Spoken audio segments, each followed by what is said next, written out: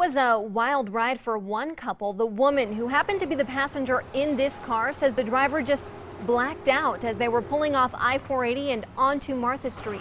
The car blew across the street, amazingly though, missing a light pole and all other traffic in the process. It then plowed across a field before coming to a stop. We're told the car's airbags did deploy, but that no one was seriously hurt.